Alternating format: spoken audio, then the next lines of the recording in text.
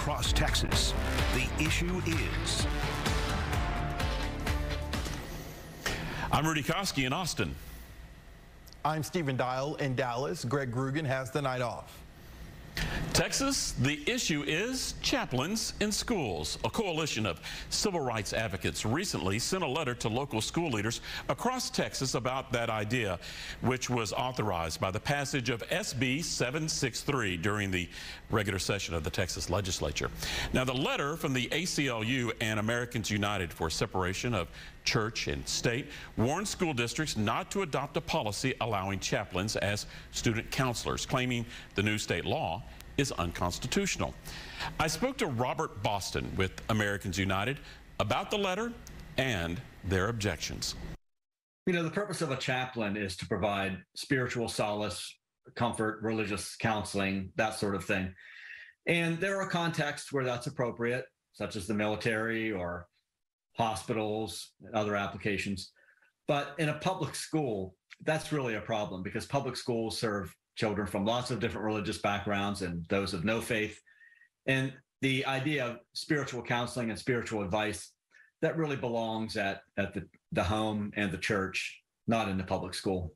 The legislature has done things by putting the Ten Commandments in uh, prayer or at least time for um, silence.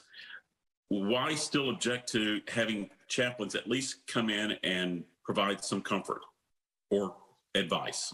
The public school system in the United States has been secularized, I think rightly, since the early 1960s when the Supreme Court handed down the school prayer rulings. Now, the Supreme Court didn't say kids can't pray in school. They said that public schools can't compel or coerce young people to pray in schools.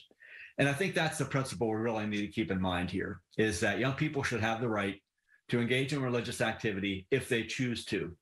When you bring chaplains in, eh, or when public schools sponsor religious activity in other ways, I think that creates an element of coercion, an element of control, an element of, of even force that uh, not really appropriate in public education.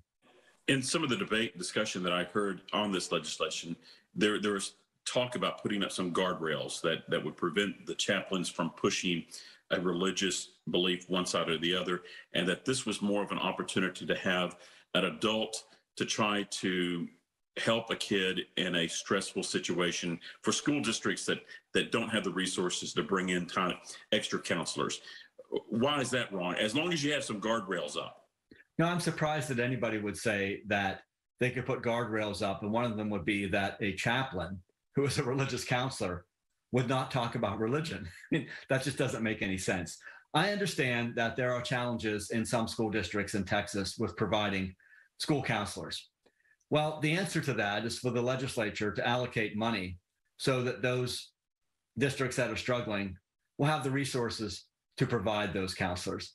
Instead, the legislature seems to think they can just push this job onto chaplains. And uh, that's just problematic on many levels. This isn't a morality attack, is it? Well, we all know that there are problems young people experience in all facets of their lives, and we want there to be support for them. And that's why I think it, it really would have been a much better avenue for Texas lawmakers to go down to provide secular counselors for those districts that can't afford them. There are other ways to do this that would that would help and that would respect everybody's rights. There are ways that would give young people the support they need, but not raise these church state violations. What we're saying basically here is that we're going to be keeping an eye on what's going on in Texas. And if we get evidence of something happening that we believe is clearly a violation of separation of church and state or a public school uh, advocating for religion in an inappropriate way, that we would want to come in and address that. Now, our hope would be that we don't have to sue over this or we don't have to go to court we would rather engage in a dialogue. That dialogue may eventually become litigation, which is why that's my word for the interview. Stephen, what's your word? Unnecessary. Mark Jones from Rice University is sitting in for Greg Groogan. Mark, what is your word? It'd be SCOTUS, and that's short for Supreme Court of the United States. Man, that's multiple hyphens there, Mark. All right. Well, those are some pretty good words, but they're not final words. There's still a lot to discuss, and we will do just that right after this.